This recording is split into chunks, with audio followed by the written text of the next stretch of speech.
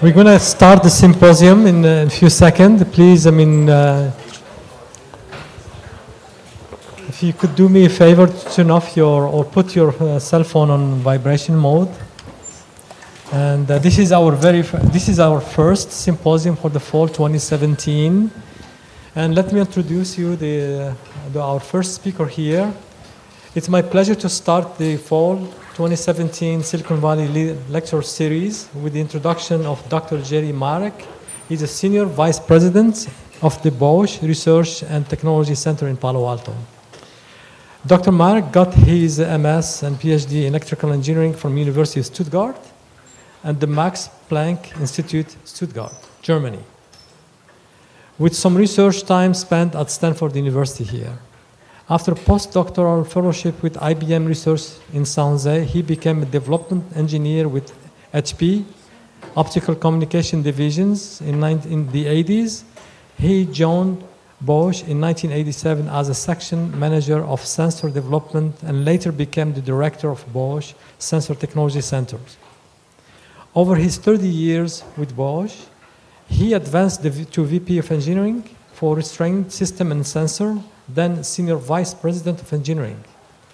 In 2013, he was named to the position of his now hold Senior Vice President of the Bosch Research and Technology Center here in Palo Alto. Once again, please help me welcome Dr. Jerry Marek, Senior Vice President of the Bosch and Technology Center.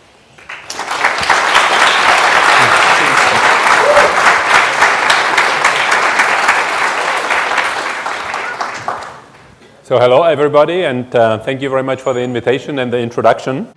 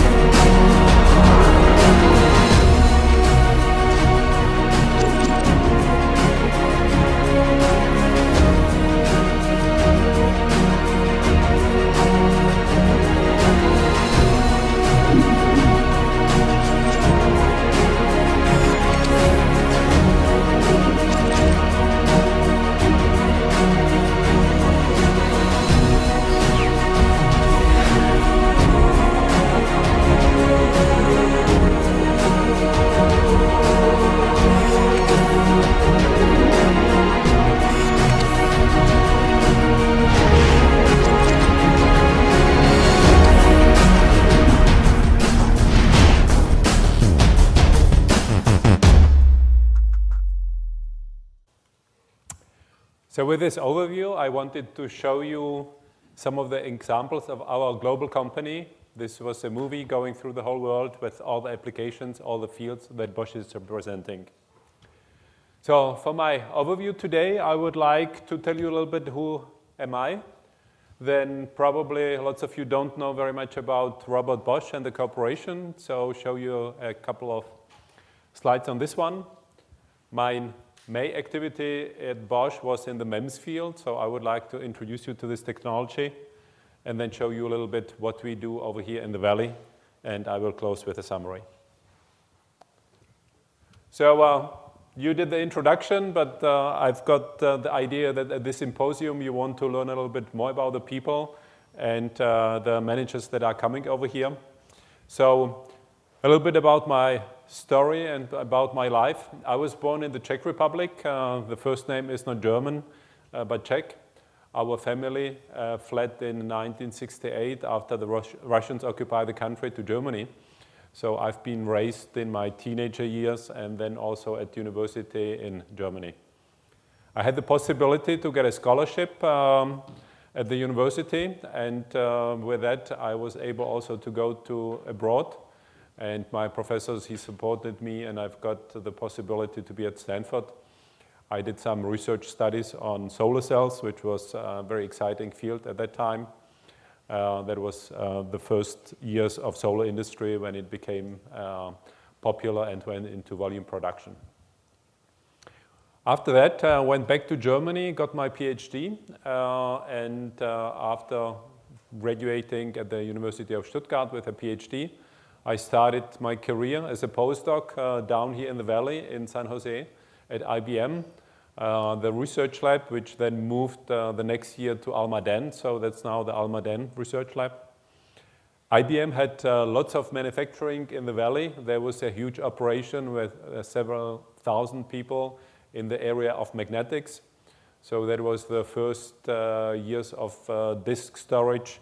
The disks were huge, I think 12 inch at that time if you get an opportunity and you are in, at Stanford, one of the buildings of computer science, they've got the first uh, disk drive, which is about six feet. It was in vacuum, and I think it stored uh, 10 or 20 megabyte of, um, of data. So those uh, became smaller and smaller, and IBM had a huge uh, operation over the there. They also uh, had lots of volume here and extended to Tucson. That was our sister manufacturing plant and uh, also built one in Europe, uh, in Hungary, uh, and in Germany. After the postdoc, I looked around here and I found a very exciting job with HP in the optical communication division. The optical communication division was making LEDs. HP was the largest, largest manufacturer of uh, light-emitting diodes and detectors, both for consumer but also for industrial and military applications. That part uh, became actually later on Agilent, uh, and uh, Agilent did later on a joint venture together with uh, Philips from Netherlands. Uh, this unit is, uh, has been then named Lumileds, and actually it had a management buyout by investors, so now it's in 100% owned over here in the US. The division was originally Palo Alto, in, uh, um, where HP started on Page Mill Road and El Camino. And then later on, we moved and expanded onto Trimble Road here in San Jose, close to the airport. And that's uh, where the operations still are. After a couple of years over here, uh, we wanted to move back the, uh, to Germany, my wife and myself, and start a family. I looked around and I found an interesting area, interesting job with Bosch close to Stuttgart in southern Germany.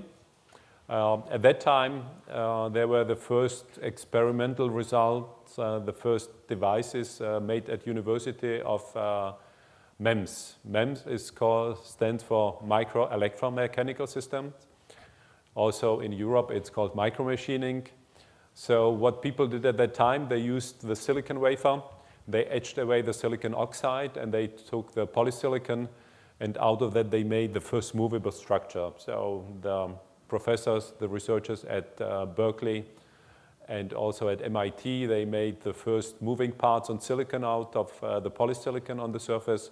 So these were comb drives, these were some rotational structures, these were bridges, and with that they wanted to do mechanical structures.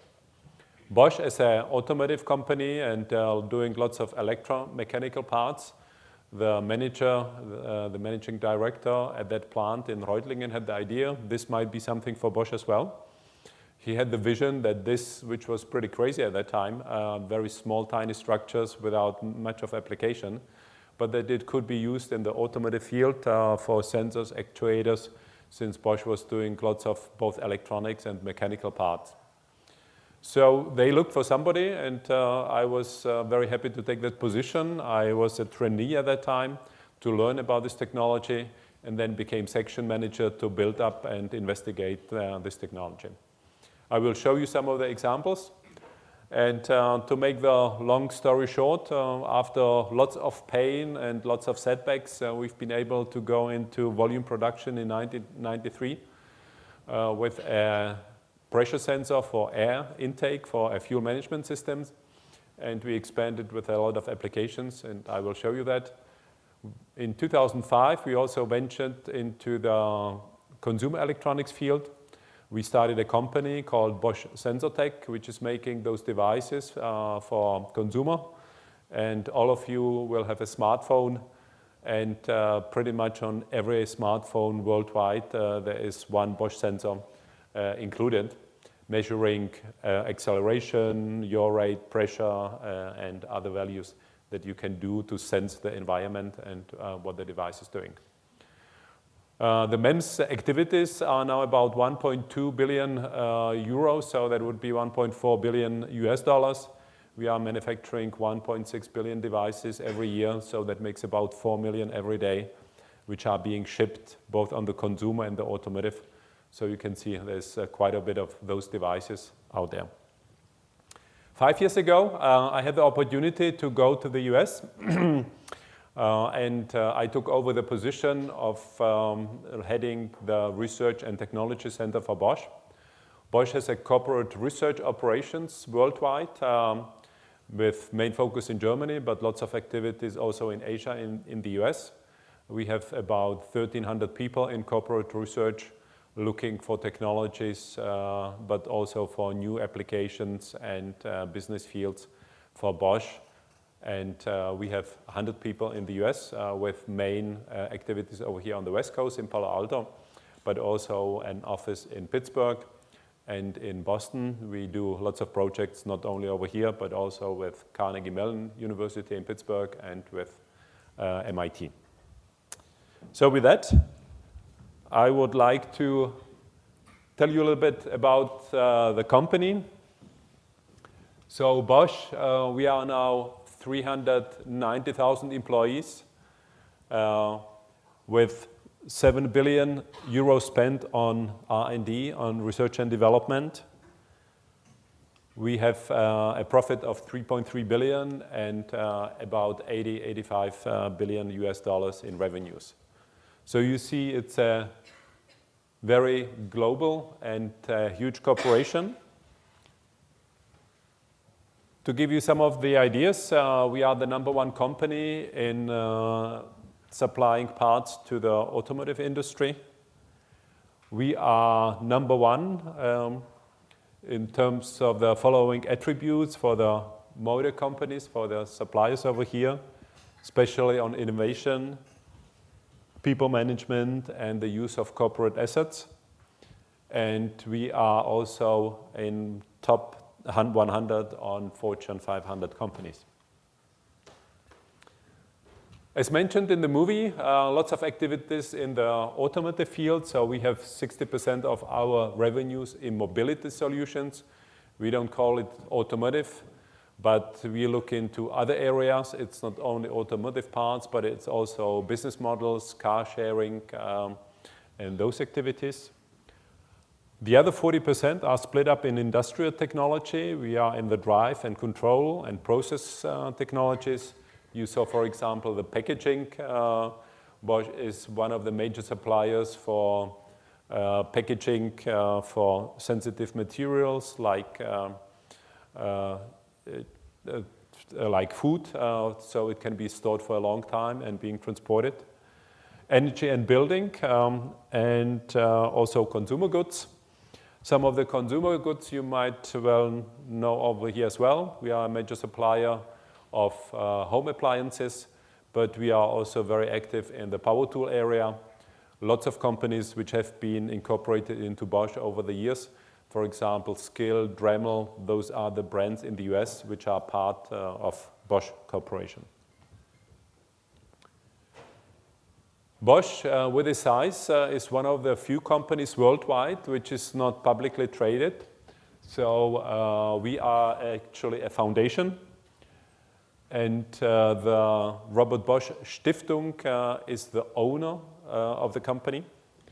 And this is to give you the idea. So Robert Bosch, he started the company 127 years ago in Stuttgart, uh, and uh, he died in 1941.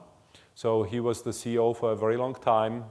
His children, his family, they didn't want to become active in the industrial space, and therefore he was looking uh, how to run the company in the future.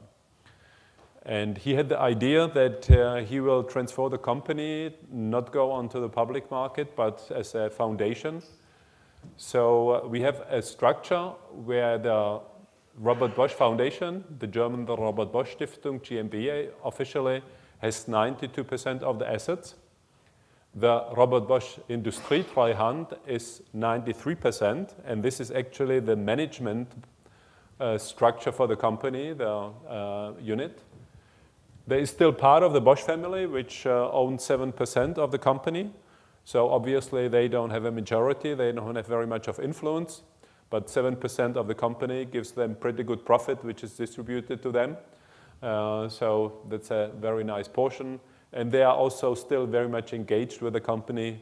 They visit uh, the different manufacturing plants, the engineering locations, not only in Europe and Germany, but also worldwide. And then we have the GmbH, which is actually the Bosch company, and it has only 1% share. It sounds a little bit funny, but uh, this is to give you an example. So we are a foundation. The control of the foundation is by industrial board, but this industrial board doesn't own the company. It's just managing it, and uh, the foundation is the owner. That gives us the possibility to be a company which is oriented to run a professional industrial company, to grow to generate profits and to generate those profits to grow the company and to keep it uh, well positioned. And the money that we earn goes back to a foundation, not goes to the company and to a portion to the foundation. And the foundation is using those assets for quite a bit of topics. So um, this is some of the um, institutions that we are sponsoring. So the Robert Bosch Foundation over the last decades gave over 500 uh, million uh, out in donations and in activities in the various fields. There is the Robert Bosch Academy, uh, which is in Berlin. There is the Robert Bosch College, which is a universal around the world college, which opened in 2014. We have the German School Academy and uh, the Bosch Stiftung operates a, a, hospital in Stuttgart, which is uh, very famous for heart surgery and cancer research, and is also sponsoring um, studies on pharmaceutical in the pharmaceutical area. A little bit about uh, US operations of our company. So in North America, we have uh, 14 billions of sales and 32,000 associates. Very much similar to the worldwide operations in the mobility solutions. Uh, that's the major portion of our revenue with 9 billion and 22,000 associates. So that's even a little bit higher than uh, worldwide. We are at 67 percent so as you see, we are a major contributor uh, to the automotive industry in North America. Both the American companies, the big three, but also lots of transplants, the Japanese, uh, Asian, and also European companies. Industrial technology, 1.3 billion, energy and building at 0.8 billion, and in the consumer space, 2.4. I mentioned uh, in the home appliance area, the Bosch brand, the Bosch brand name. Uh, three years ago, we bought uh, the remaining 50% shares of this Bosch Siemens home appliance corporation. So we own this now 100%. Before, it was a 50/50% joint venture between Siemens and Bosch. In the U.S., we also carry the brands Thermador and Gaggenau. Uh, Gaggenau being the premium brand, and Thermador, a typical American company with lots of uh, appliances uh, designed for the U.S. That's history of Bosch in North America. Um, in 1906, Robert Bosch opened the first subsidiary in New York. So you see he was very early on, and with that, we are now at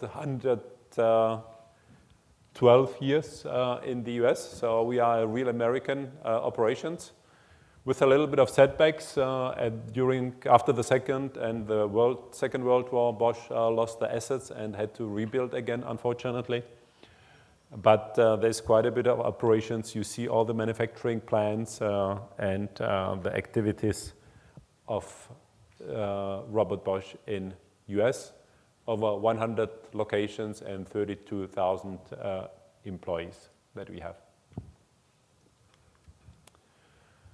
A little bit about the semiconductor, since this is uh, Silicon Valley. Um, we have um, our own uh, silicon fab in Germany. We actually announced a couple of months ago that we will expand, and we will build a 300 millimeter fab in Dresden, in Germany, to um, increase our volume, our production capabilities, and also the technology outreach to 300 millimeter. Bosch, at the same time, we are buying lots of semiconductors uh, on the market. So Bosch is uh, about uh, one third that we manufacture, two thirds of our semiconductor supply we are buying on the outside of our products. And here you see in the automotive space, the semiconductor companies. Um, Unfortunately, this is from 2015. Number one, NXP, Infineon, Renesas, and number six, Bosch, uh, with um, 1.2 billion of revenues in this area. With this overview over Bosch, uh, Bosch activities worldwide and also in the U.S., I would like to tell you a little bit about MEMS. As mentioned before, MEMS stands for Micro Electro-Mechanical Systems. So what do we want to do? So we want to have devices which consist of a micro mechanical element, so some very small, tiny structures in silicon, and electronic part as well. You see what kind of structures we can do. This is a 50 micrometer marker. We can produce in silicon very precise, but uh, also very tiny structures, which can be moved. We can do bridges, we can do membranes, we can do oscillators, and with those, we can build all different kind of sensors. This is the ranking uh, from an outside marketing company. Uh, so as you see Bosch over here, the next company being STMicro, also from Europe, and Knowles, an American company making microphones. InvenSense, also here in the Valley, which are producing the devices and are our competitors in this space. We are one of the first companies which uh, started this uh, operation for volume production, both automotive and uh, consumer. We started the production in 1995. By now, we have a combined 8 billion of sensors produced, and since we built this technology from the very scratch, we have over 1,000 patents in this area to cover our developments. We do 100% design, both the mechanical design, also the circuit design, the packaging, the system design. We do uh, and control the manufacturing as well. The wafer fab is in Germany, but lots of packaging is happening in Asia, in Europe, and also in the U.S. and Mexico. We've been very happy. In 2008, we've been awarded uh, the German Innovation uh, Prize by the German president. Uh, this is our team with the German president at the time, 2008, and we've been recognized for taking this technology this very high innovation, but to industrial application and really serious production. With this, I would like to show, you some of the examples, what the devices uh, are doing and uh, how they are applied. One of the major uh, contributions is the ESP system, the electronic stability system. And the system on the car is looking at the behavior of the vehicle. We are looking at the yaw rate, the rotation of the car along the perpendicular axis, so how you are driving, and also on the lateral acceleration, uh, how you are uh, going into the curve. At the same time, the system is looking what the driver wants. So we are looking at the driver's commands, being the steering angle and the braking pressure. So if you are controlling the car, obviously, you, are, you have the gas pedal, you are accelerating, the acceleration. Then you have the steering where you want to go. In the case you want to brake, then you have the braking system. If you have a critical situation like snow, rain, uh, dirt, and you are going too fast, you brake, then the system, the car will become unstable. And this is where the system helps you to really, under very critical situations, to handle the vehicle and to keep it under control. So the system will intervene if necessary if the car is starting to skid with very small braking pulses on the individual wheels or even intervene with the engine management so it will, will reduce the torque.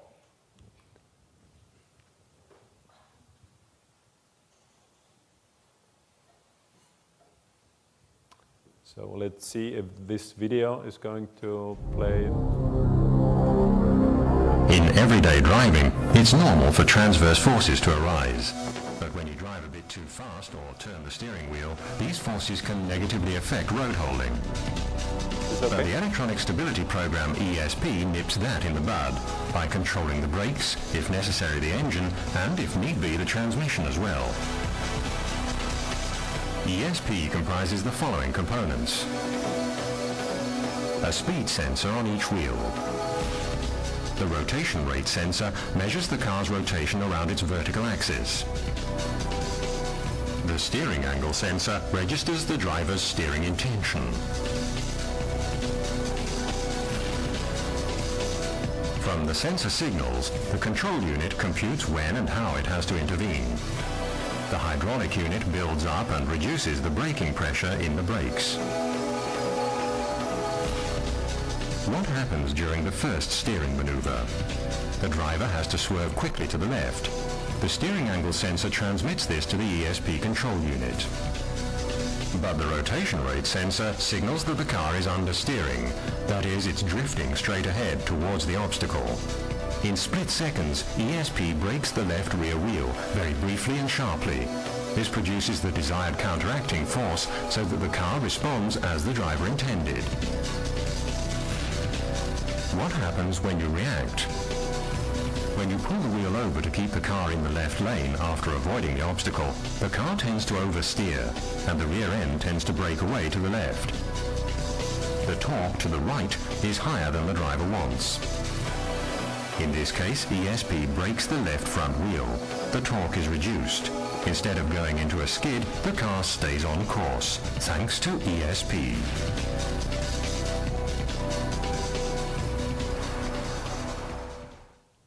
Bosch.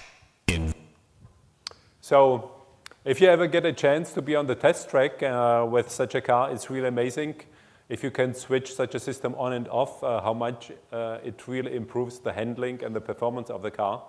If you have conditions where it's wet, where it's oily, uh, where you have snow, it's really amazing how fast the system is reacting and how much of the stability improvements it can actually do.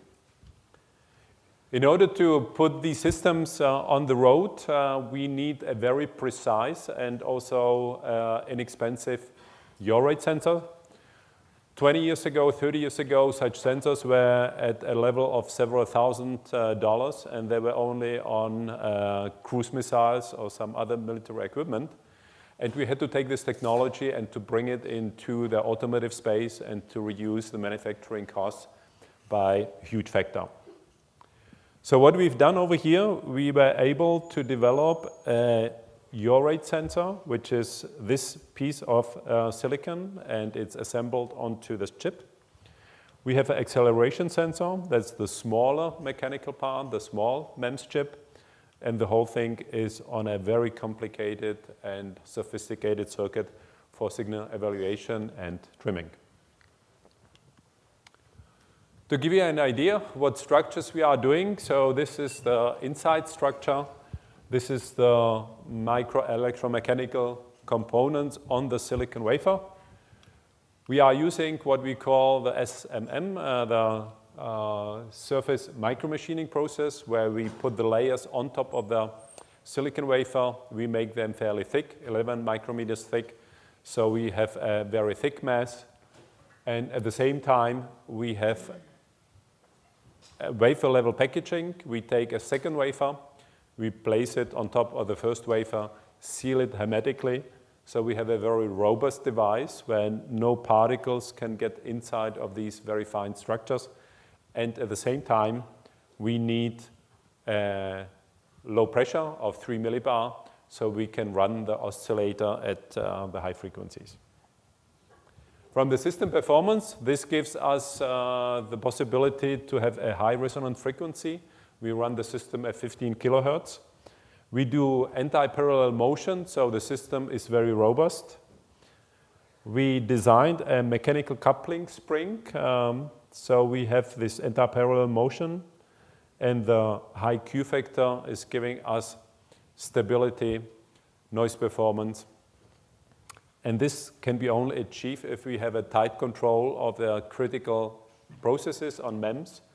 We have to do very precise lithography and also trenching in order to achieve those parameters. To remind you, this is um, based on Coriolis force. So back to engineering and physics. In the case you have a rotation and you have an oscillating system, then you get a Coriolis force, and this Coriolis force is able to be then shown, detected. So what we have over here on the structure, we have a drive frame, which is this red structure, which puts the whole thing into oscillation. We have a Coriolis frame, which is the part which is um, flexible enough to do the detection. And the detection frame is the one then really detecting the signal as the Coriolis force is putting deviation on the different masses. This is shown over here in this video. So uh, we have this combined uh, yaw rate and acceleration sensor inside the electronic control unit. As shown over there, this is the yaw rate sensor. The red electrodes, the drive electrodes, are putting the system into anti-parallel motion. And a detection frame, we are then able to detect any kind of rotation. The same what you saw before in terms of the situation of the car. Now we have the car rotating. With the rotation, there will be Coriolis force on those moving structures, and the detection frame will be able to detect this deviation. The electronic circuit is pretty sophisticated to do that. Um, so we have the sensing element. We take a voltage, uh, capacitance to voltage converter, ADC. We need a gain control and a PLL to run the whole system in the, uh, in the resonating frequency. To detect the signals, we have, again, a capacitive pickup. We do to a C2V converter, uh, ADC, and digital filtering to provide the signal. We need to compensate the temperature effects over a wide range, uh, which is from minus 40 to 85 degrees C. We do the gain adjustment with that, some output filtering, and then the system goes via digital interface to the electronic control unit. We have to do quite a bit of testing, so we have really a very good signal. So we have inter internal uh, bit control. And to give you an impression what kind of sensitivity and what kind of performance such a sensor can do, so by the end, at the resolution limit, we have a mechanical sensitivity of 5 picometers uh, per degrees per second rotation and the electrical sensitivity of 2 attofarads. So the resolution limit gives us 3 degrees per hour. So if you look at it, 3 degrees per hour rotation is pretty small. At that, we have a change on the amplitude of 4 femtometers, which is just fractions of silicon to silicon atom. And we are detecting at 5 volts uh, 2 zettafarads. So at 5 volts, we are just detecting 0.06 electrons with this type of very small and tiny device. So with these rate sensors, would like to give you a little bit of impression what we do over here in the valley. So some of the highlights of the research that we've done over here uh, over the last almost 20 years, we've been in the valley since uh, 18 years. We are working on the natural language interaction and one of the systems which we introduced 10 years ago on Cadillac, the Q system, has been awarded with uh, high grades. Overall, the natural language voice controls, uh, we are working on computer on visual computing, the 3D navigation systems uh, also started about 10 years ago over here at our research facility. We are working on systems to do visual analytics for Industry 4.0. If you have huge amount of data, you have to go and visualize them so you can react, react and take control. Big data and GPU clusters is one of the research areas over here. Robotics, especially the collaborative robotics, like on the industrial floor, the humans working with a robot. One of the products that we took out of the valley is part of the algorithm and the system on the robotic lawnmower, uh, which is very popular in Europe. It's an electrically charged device and it will do automatically and it will do very nice lane type of cutting on your lawn. Automated driving, uh, we've been only a couple of months after Google when we started our automated driving testing on 280. So we've been on the road since 2013 and we logged quite a bit of miles. In April of this year, we announced a collaboration together with uh, Mercedes the Mercedes company, the Daimler company, uh, has also a research center over here in Sunnyvale.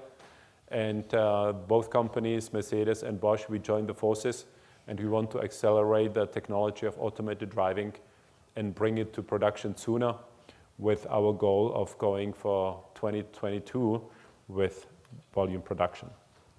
Battery modeling, uh, advanced battery controls, uh, our software, our algorithm are on the Fiat 500 electric vehicle.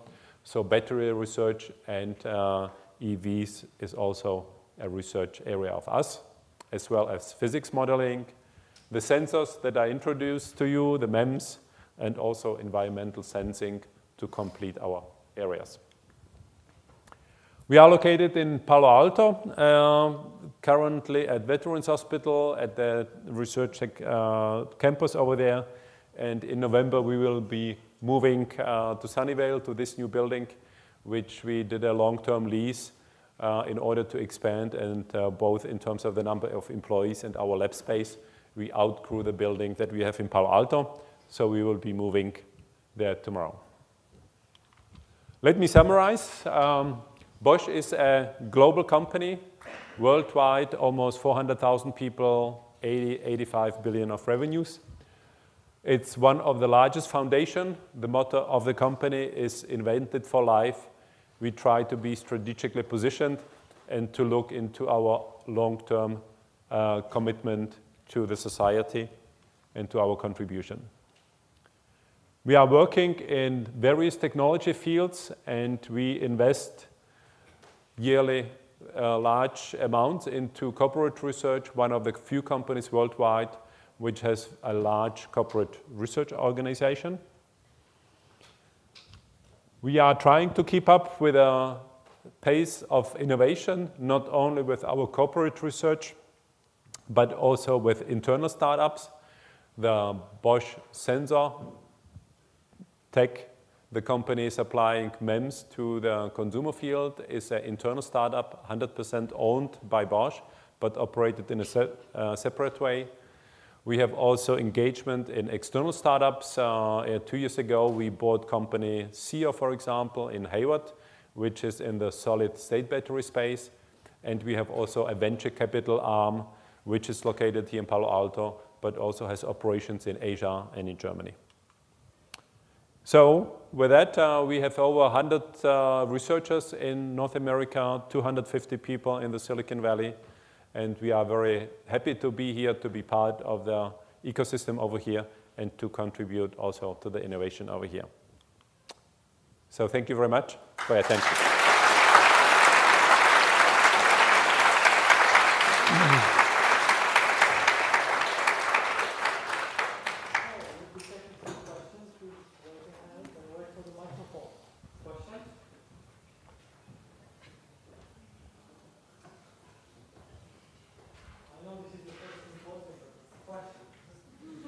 Too many topics at one time, at the same time.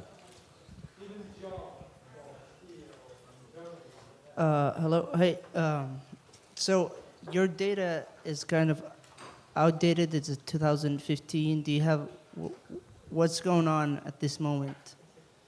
Like all your graphs are the latest is 2015 or 16. Uh, the semiconductor data was unfortunately 2015. The revenue data uh, and the amount of employees was for 2016. We published the annual report in April, and that's the 2016 numbers. Yeah. All right, thank so, you. Uh, mm -hmm. So the 389,000 employees is uh, as of uh, last year, so as of January of this year.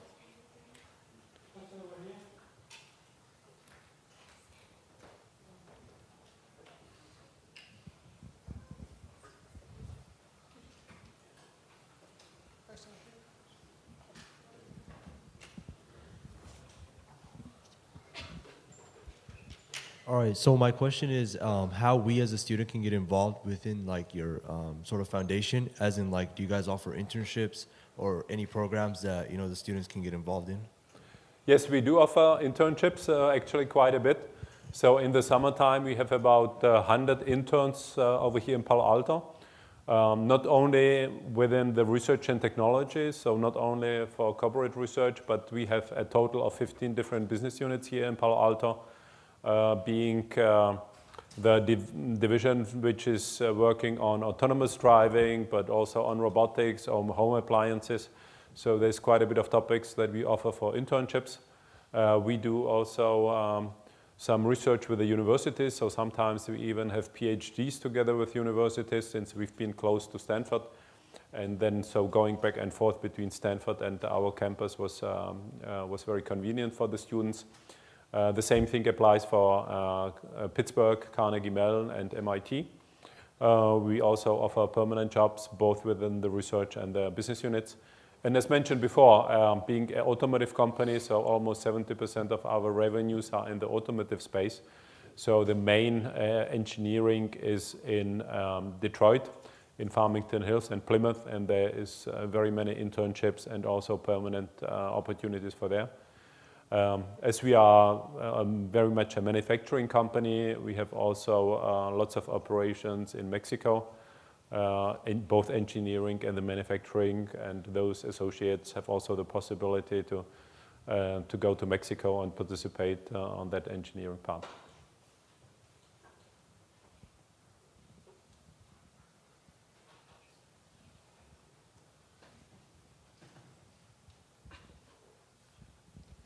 What responsibilities does your job currently entail?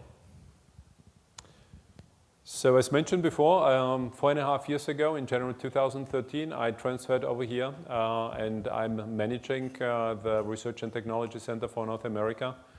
Um, the official job title, I'm uh, the Senior Vice, uh, Vice President at Bosch at the upper management level. Uh, my responsibilities are overall to manage the uh, operations in North America. Uh, so the department manager out of Pittsburgh and also in Boston is reporting to me. So we have a total of uh, seven different departments uh, within the corporate research, uh, five of them, six of them in Palo Alto and remaining in Boston and Pittsburgh. Since um, I am part of the upper management, I was also running the site over here as we've been growing, but now we have a, a official site coordinator and manager, so I had also to do you know, the daily operations like um, negotiating, extending the lease, um, getting the things organized, uh, doing them. So my responsibility is for coordinating all the projects, uh, coordinating with the universities, um, um running the operations, and uh, at the same time, my supervisor uh, is in Germany and also in the US, so I've got two uh, legally wise, I have to have a manager in North America who is Mike Mansuetti. Mike Mansuetti is heading over all the North American operations, so that's not only US but also Canada and Mexico. And my supervisor, uh, target-wise, is uh, Michael Bolle. He is located in Germany, and he's running the corporate research. And he's reporting directly into Volkmar Denner, uh, our CEO, so um, I've got only two management levels up to our CEO to, uh, to Mr. Denner. So there's quite a bit of interaction with Germany and coordinating those projects worldwide. So the projects that we do within corporate research are really global. So for example, we have battery research, which uh, most of that is happening in Germany because that's where the systems are. But we have operations over here. I mentioned before we bought a startup um, to supplement our technology in the solid state we have some colleagues uh, in uh, Shanghai, in China, working on materials. So those projects are pretty much run worldwide. So I think that's one of the advantages of the company. It's so huge, so you can change to many different topics. But you are also running a global project, so you get lots of interaction with both uh, the colleagues in Europe and in Asia.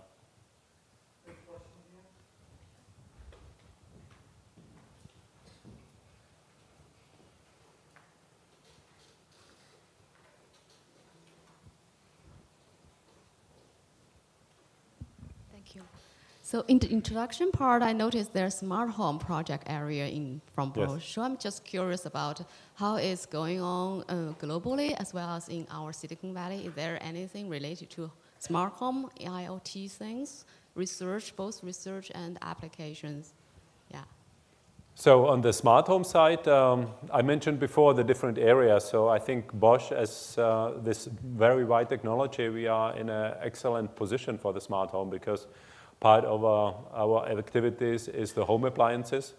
So we are producing uh, refrigerators, freezers, ovens, washing machines. Uh, Bosch has also, didn't mention that explicitly, uh, lots of activities in the home uh, heating field. So um, uh, gas um, heaters um, are made uh, in worldwide and Bosch is manufacturing those. And at the same time, um, being electronics on the car, so in the integration of the home, even with the car. So the connectivity and the smart home is one of the big topics. And uh, we have uh, a home, smart home division, which we started a couple of years ago. Uh, and uh, here we are uh, developing and manufacturing uh, the controllers and the apps to run such systems. So with a smart home, uh, from Bosch, uh, you can run the security system. We have also security system operation on industrial side, uh, control the ambient light, control the heating and uh, into the home appliances. Uh, so quite a bit of activities to integrate that and lots of research opportunities as well. We have been part in Pittsburgh together with Carnegie Mellon um, on a smart campus project which has been running over five years we as Bosch, we've been installing sensors and sensor nodes and uh, Carnegie Mellon has been integrating these into a prototype lab into the site uh, hall. So uh, the applications was to manage a campus like a small smart city, uh, looking, for example, at occupancy, at temperature, to run the system more efficiently. So there are occupation system, temperature sensors, and uh, we are installing and install the different sensor nodes. So for example, uh, if the classroom is not used, you can turn off the lights, you can turn down the air conditioning, save energy. In the case there are some people in the building, uh, they are by themselves, you can uh, provide the security for them. And so that has been one of the projects together with CMU. And we are expanding this into a prototype even with a, a big uh, hall in, in Pittsburgh. Does that answer your question? Okay. Thank you very much. One last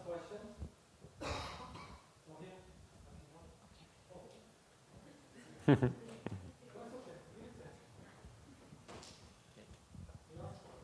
Hi, thank you for coming to talk today. Um, I wanted to ask you, where do you see Bosch 100 years from today? Like,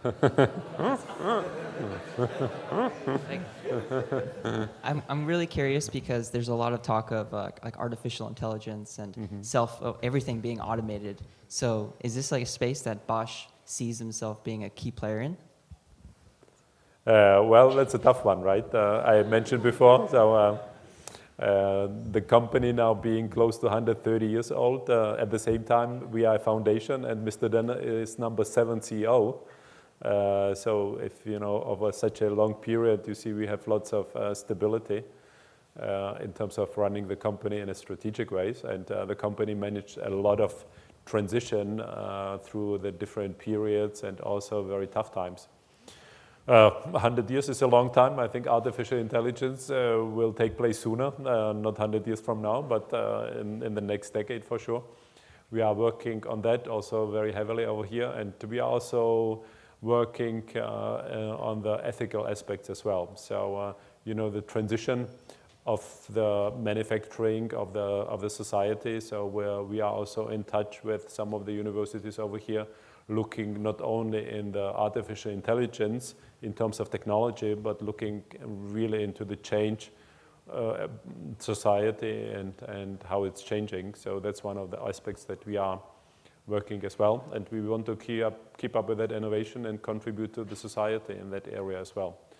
We are a huge manufacturing. Uh, we have only 250 manufacturing plants. Um, a very high portion of our associates are in the area of manufacturing. So the whole change of um, artificial intelligence, not only for us as customers and users, but also on the manufacturing side, that's quite a bit of impacts as the robots, uh, the uh, Industry 4.0 is changing the production, manufacturing, uh, distribution space. Uh, we are very heavily in that. But I hope uh, the company will be around for another not only 100 but also 130 years. Uh, but it's a challenging task for everybody, for the company and the management.